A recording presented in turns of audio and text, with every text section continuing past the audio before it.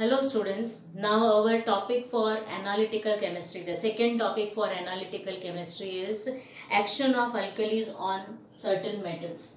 So, this is an important topic, action of alkalis on certain metals or we can say amphoteric metals, right?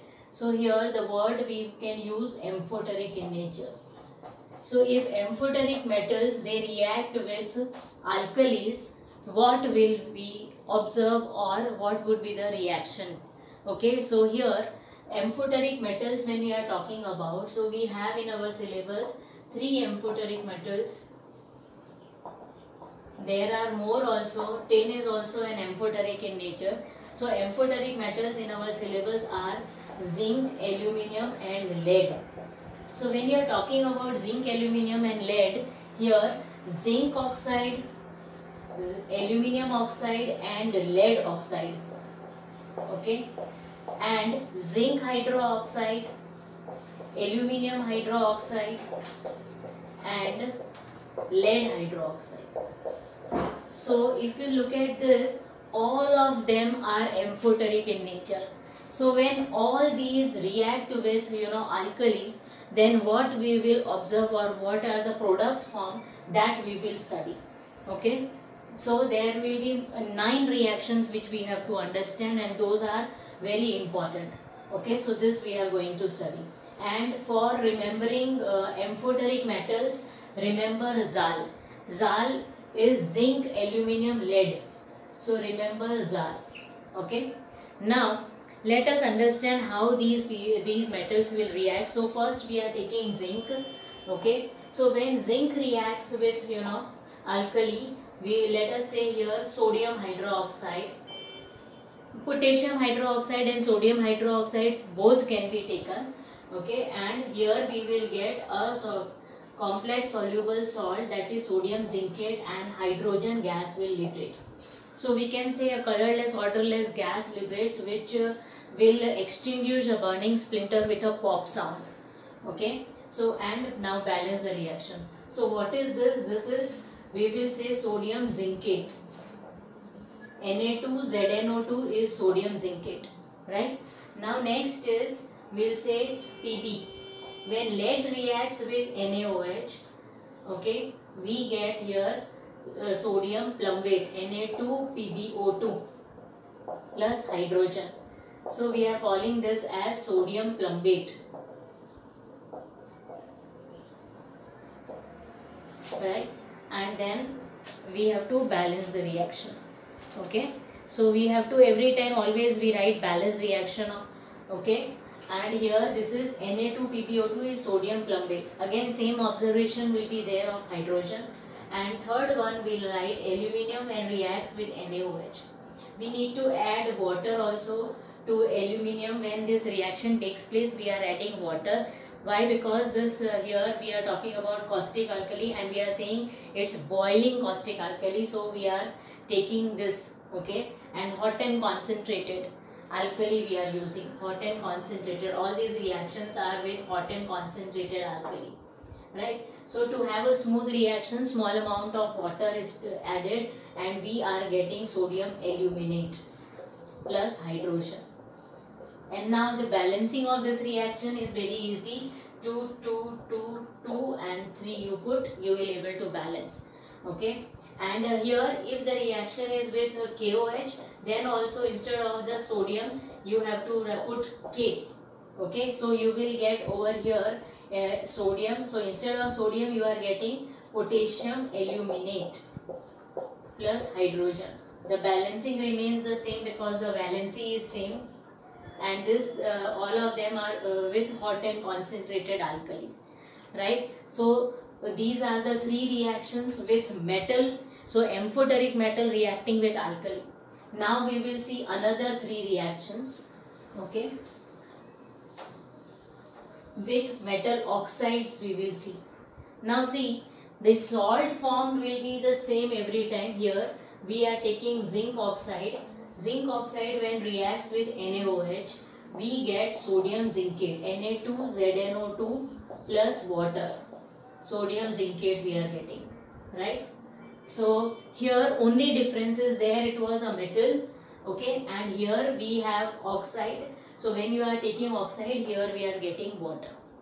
Now if we are talking about PbO to PbO so when PbO reacts with NaOH or KOH we will get sodium plumbate. These are all complex soluble salts. Now see as we are talking about this is these are amphoteric in nature so these are base so they will behave as an acid and we are getting salt plus water. So another reaction now aluminium oxide when reacts with sodium hydroxide. We will see that we will get a sodium aluminate NaAlO2 sodium aluminate we are getting along with water. So here you will have this right? Now when you are uh, okay so here aluminium is 2 so let us put 2 over here. So sodium is 2 aluminium is 2 now oxygen are 4 plus 1 5 here 3 plus 2 5 so it is balanced. Right? So this is sodium uh, aluminate. So these are the three reactions. Now the other three reactions let us uh, uh, write. The next one is zinc hydroxide. When zinc hydroxide reacts with, let us take KOH, instead of NaOH, you can take any, I mean this alkali, KOH or any alkali you can take, you will get potassium zincate plus water, right? So we can take this way also, potassium zincate plus water, we are getting, you can take potassium hydroxide or sodium hydroxide and here two we have to put to balance and here two why? Because here hydrogen are 4 okay? So now next is with lead hydroxide so when lead hydroxide reacts with sodium hydroxide or potassium hydroxide we get here sodium plumbate if you are taking potassium then you get potassium uh, plumbate and put 2 over here 2 here to balance it. And the third reaction is with aluminium hydroxide. Okay, so when aluminum hydroxide reacts with NaOH, we get sodium aluminate and water. Right now, again here aluminium is 1, sodium is 1. So hydrogen only we have to see. So there are here 3 plus 1, 4 hydrogen. So put 2 over here. 4 hydrogen and uh, oxygen when we are talking about. So here 4 oxygen. So here 3 plus 1, 4. So this is balance reaction. So in this manner, all these there are nine reactions and these nine reactions are all with amphoteric metals and with alkalis right? So this is this was very important. Now along with this one more very important thing which we did uh, yesterday was how to detect ammonium uh, cation okay? So in the previous video all the detection of cations we did and now only with uh, ammonium compounds are there then what will how will we, we test that we have to see?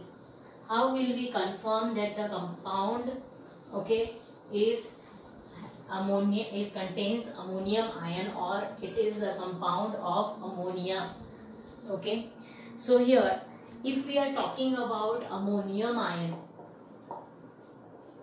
okay so we have to confirm that the substance uh, contains ammonium ion so how will we confirm confirm so if we want to test for this ammonium ion then what we have to do is you have to use Nessler's reagent. Okay so Nessler's reagent turns brown. That is the test of ammonium compound. So what we have to do suppose any ammonium compound we are testing say the compound is ammonium sulfate ammonium carbonate ammonium chloride. So what you have to do is add Nessler's reagent okay? Nessler's reagent.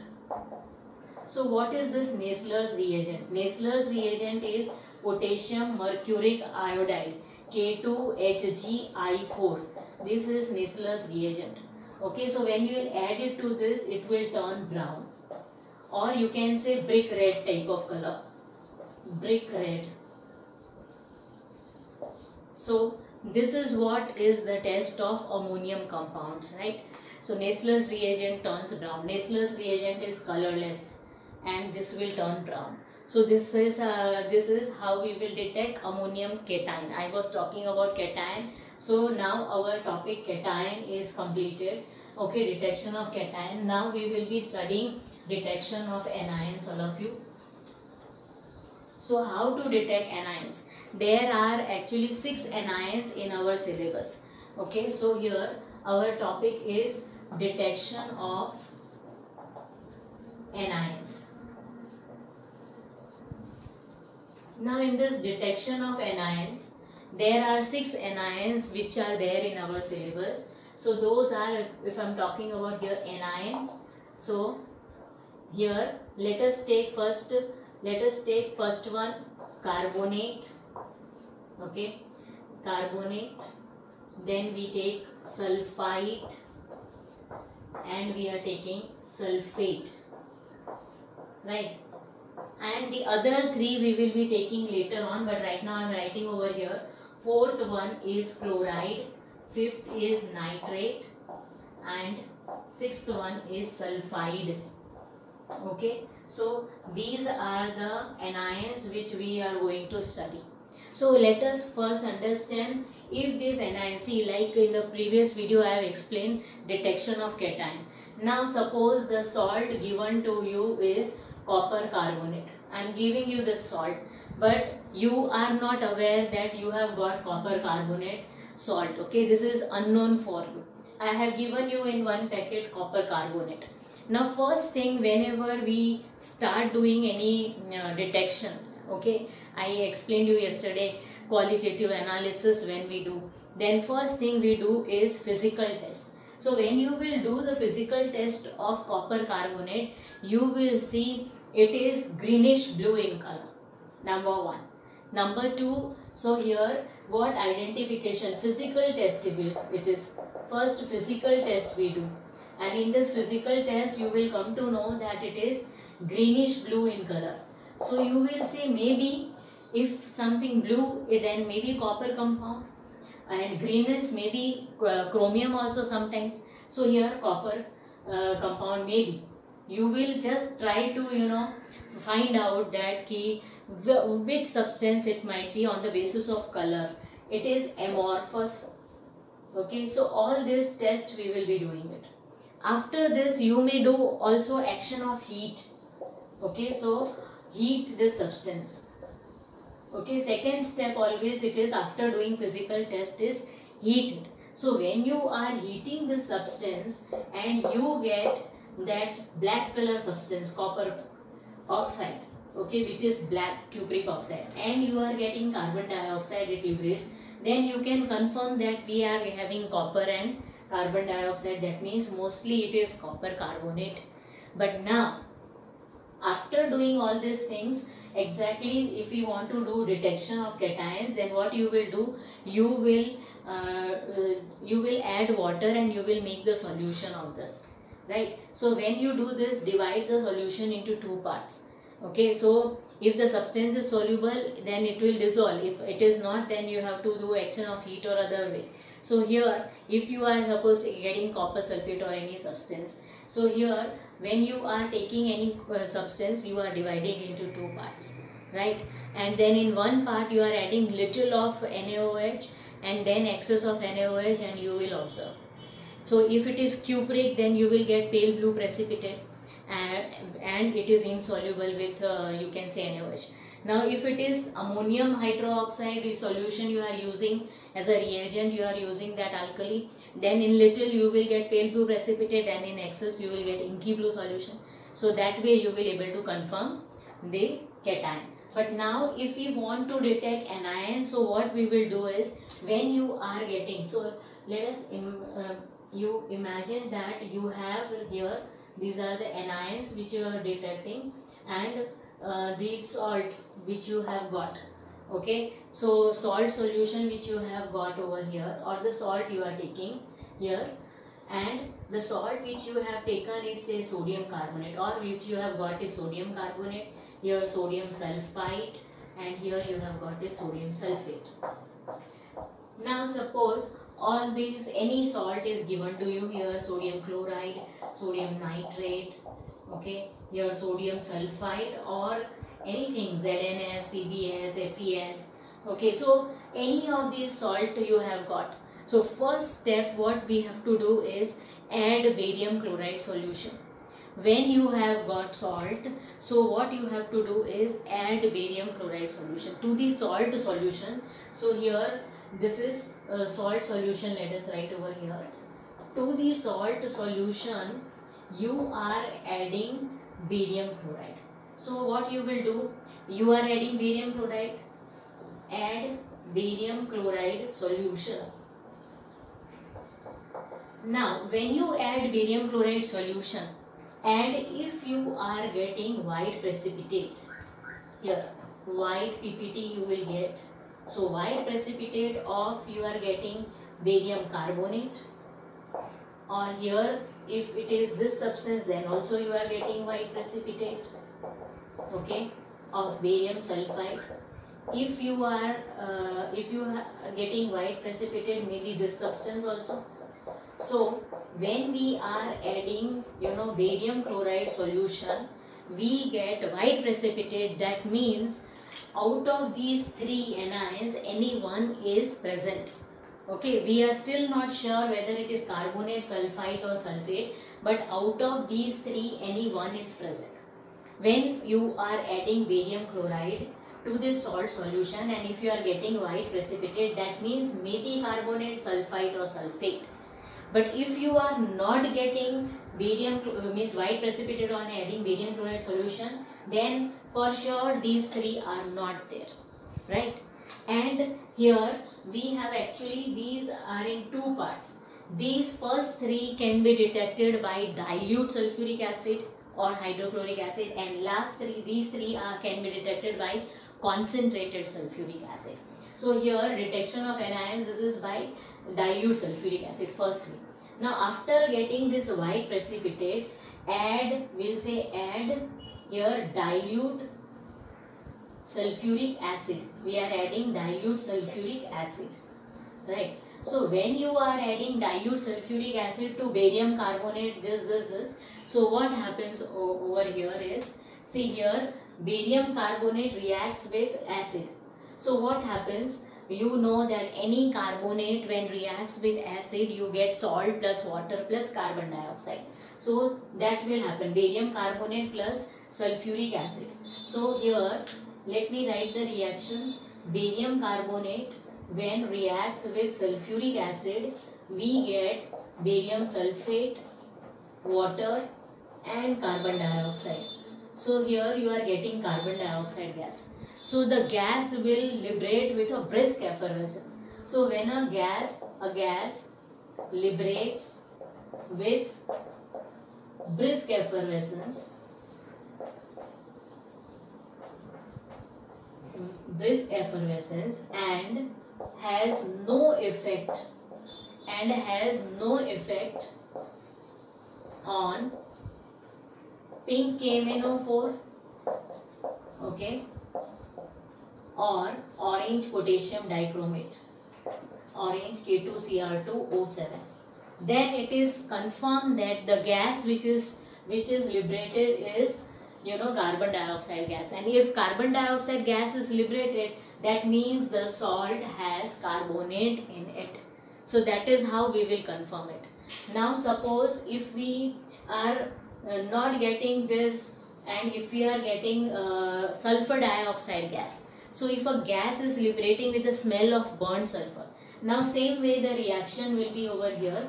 Barium sulfite when reacts with sulfuric acid so if the reaction, if you are adding here, you are getting this and if you are not getting this and then on adding sulfuric acid to this white PPT, if you are getting sulfur dioxide gas, this reaction will take place here. Salt plus water plus sulfur dioxide. So if sulfur dioxide gas is there, then you will get the smell of burnt sulfur.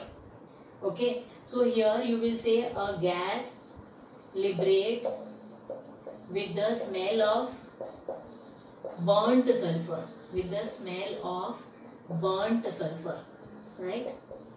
Okay? And it turns pink KMNO4 colorless. So we will say pink KMNO4 turns colorless.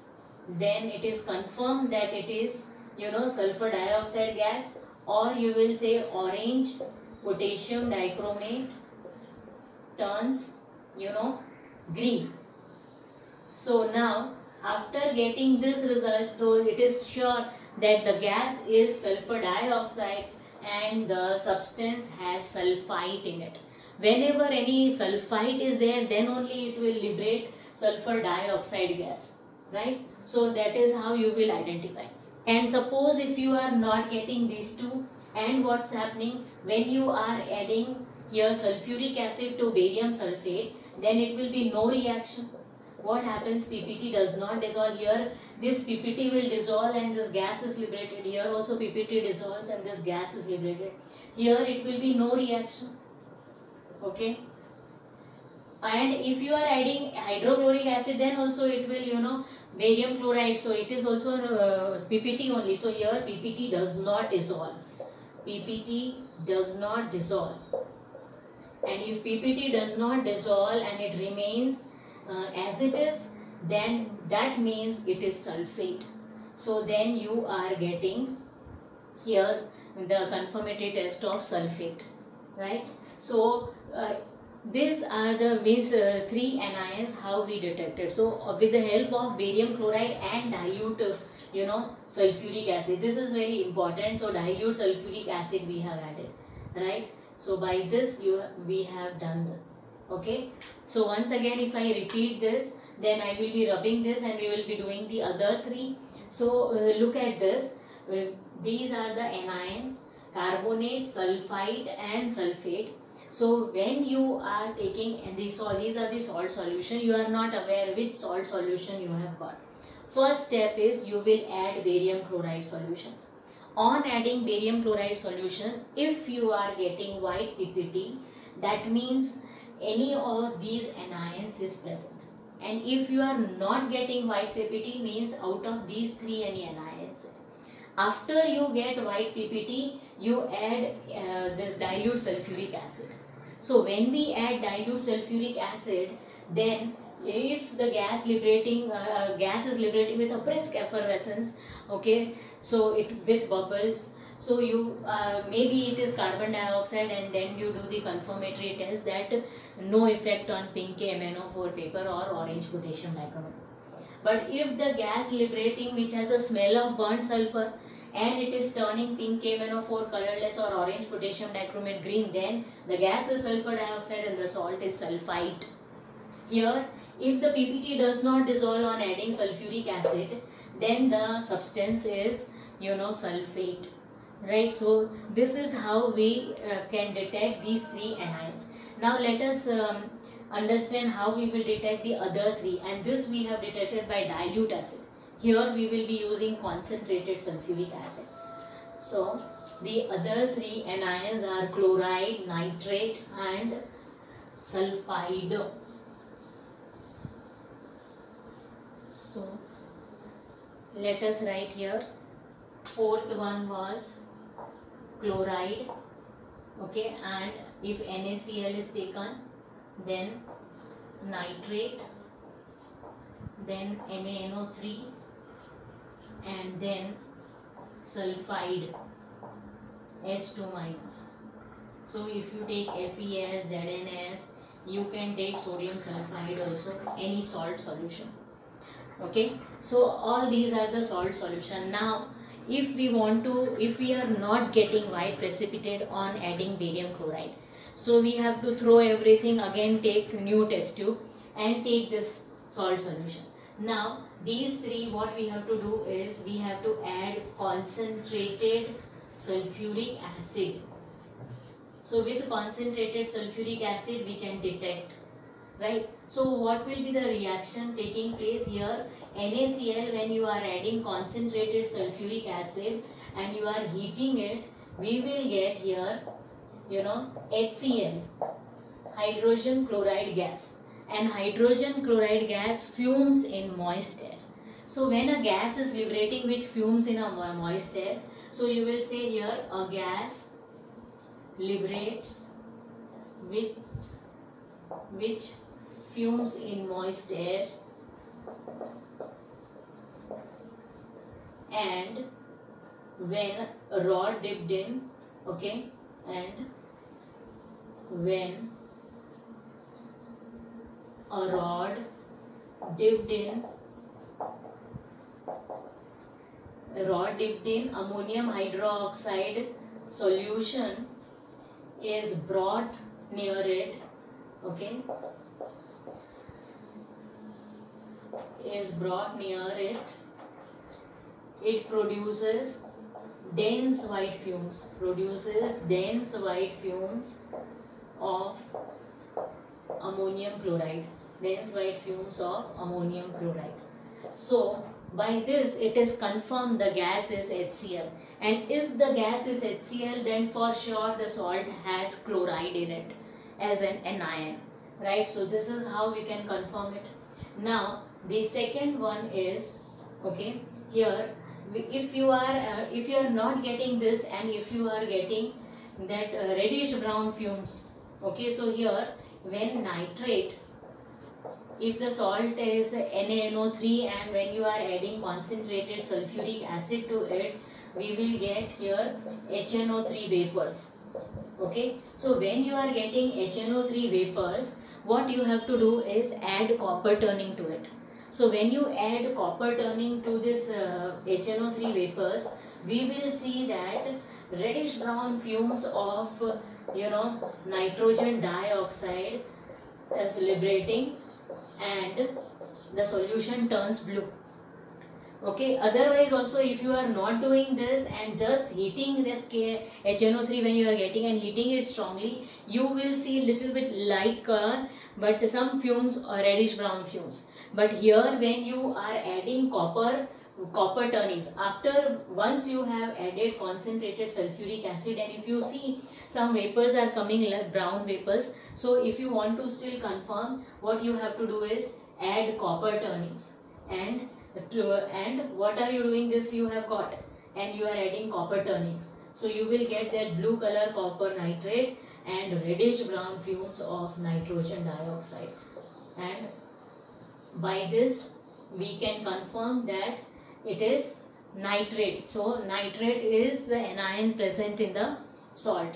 Okay? So let us uh, we balance this here 2 here 2 and this 2 4 right? So this is what happens copper turnings you are adding okay now here after that what is the test of uh, nitrogen dioxide the test of nitrogen dioxide is potassium iodide paper turns brown so if you want to confirm then you can confirm this but by the color also we can confirm that nitrogen dioxide gas is released. So potassium iodide paper turns brown. Okay. Now here one more thing it is possible. What we can do is that is you can take AgNO3. For this we can take AgNO3. So this is your one test. Okay but here in okay let us that we will distinguish uh, later on so that part I will explain after we complete this so on adding concentrated here sulfuric acid to this substance then what happens if you have taken ferrous sulfide or you have taken Na2S then when you add the sulfuric acid you will get here salt plus H2S and if we get the smell of rotten egg so this gas liberates with the smell of rotten egg. Okay. Then it is confirmed that the salt has sulfide and then you do confirmatory test lead acetate paper turns silvery black. Lead acetate paper turns silvery black. So this is how we can confirm that the salt has these anions right? Now once again i am repeating. See the first three we detected by adding barium chloride and then uh, followed by dilute sulfuric acid. So if we are not getting any of this then what you have to do is take a fresh test tube take a salt solution add concentrated sulfuric acid when you add concentrated sulfuric acid and if you get the gas which is uh, which fumes in moist air then what you have to do is bring a rod dipped in ammonium hydroxide solution. We will see dense white fumes of ammonium chloride. Then it is confirmed that HCl gas is liberating. And if HCl gas is liberating that means the salt has chloride in it. So, so otherwise if you are not getting this then what we are then if we are getting HNO3 vapors some light brown vapors you will see some some fumes coming out. So what you do is to con confirm it that those are brown fumes only then add copper turnings. And heat it strongly. So when you add copper turnings to this what we have got that is nitric acid and then you will get dense white fume sorry dense reddish brown fumes of nitrogen dioxide then it is confirmed. If nitrogen dioxide releases that means the salt has nitrate in it. So and the confirmatory test of nitrogen dioxide gas is potassium iodide vapor turns brown. And the last one is on adding concentrated sulfuric acid to this salt solution. If we get the gas uh, with a rotten egg smell and turns lead acetate paper silvery black that means the salt has sulfide in it now, let us understand the distinguish, how to distinguish between if two salts are given to you, then we have to understand uh, how to distinguish between the two salts, right? So, let us take one example. Suppose here, the question is, uh, here, how will you distinguish NaCl and NaNO3? Two salts are given by a chemical test. Uh, okay? So when you are uh, when uh, we have to distinguish these two we can distinguish by adding concentrated sulfuric acid. That is what i explained you just now. But there is one more way to distinguish this. So here what you can do is add silver nitrate solution to both of them. Add silver nitrate solution to both the substance right. So what will happen then? Both the substance. So first point you will write this.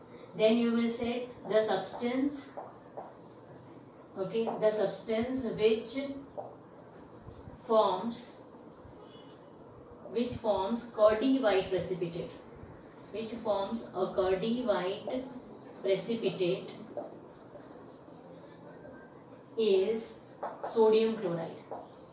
Okay so here uh, and the substance which does not react does not react with okay silver nitrate solution okay is sodium nitrate see let me write the reaction you will understand. NaCl when reacts with AgNO3 we will get AgCl that is a or DYPPT okay plus NaNO3 and if you are taking NaNO3 and adding AgNO3 so the one which will not react okay no reaction okay is nitrate. So this is how you know we can distinguish this chloride and nitrate. Now one more question let us uh, solve. Okay.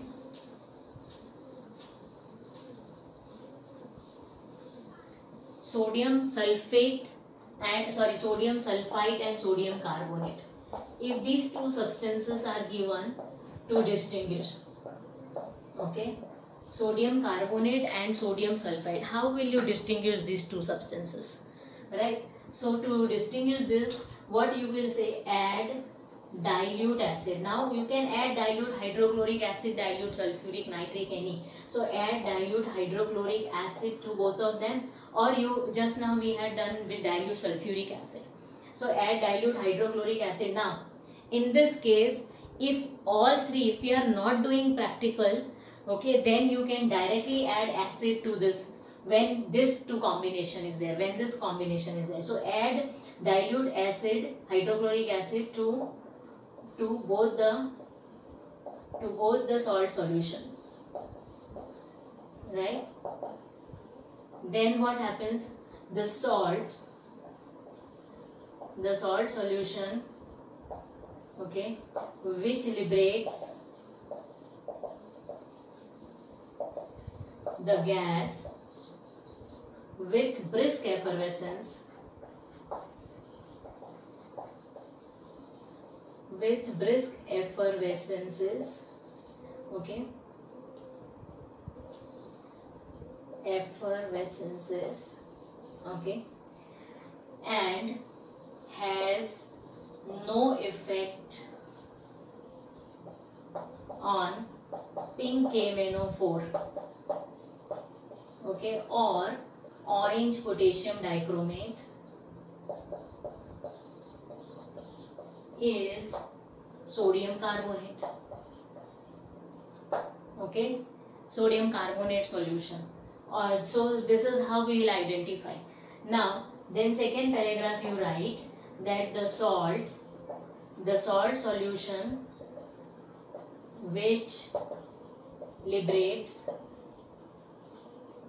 the gas with a smell of burnt sulfur. With a smell of burnt sulfur. Right? And and turns pink KMNO4 colorless.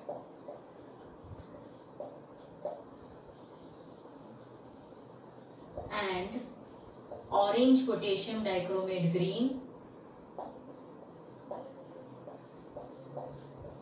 is sodium sulfite.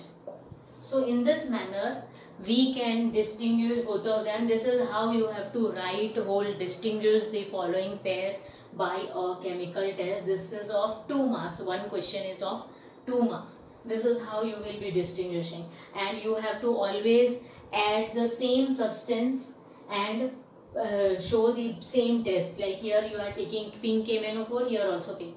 If here you are taking potassium potassium dichromate here also potassium dichromate. That is how you have to do it right?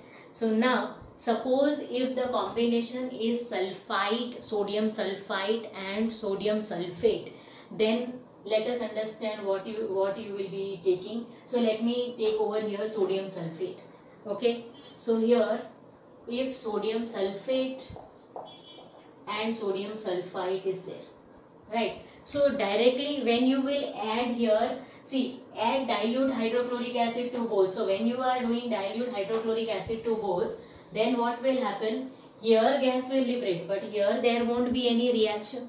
So instead of doing this first you have to you write down that add barium chloride solution to both okay? So whenever there is sulfate okay in combination always and always we have to add barium chloride. So add barium chloride solution to both both the both of them or both the salt solution you can say.